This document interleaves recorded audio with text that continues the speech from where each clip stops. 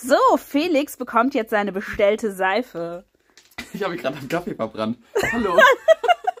Schau mal, wie oh. gefällt sie dir? Die finde ich richtig gut. Äh, die habe ja ich gemacht. Mhm. Das war ein guter Tipp von Kathi, das durchsichtig zu machen.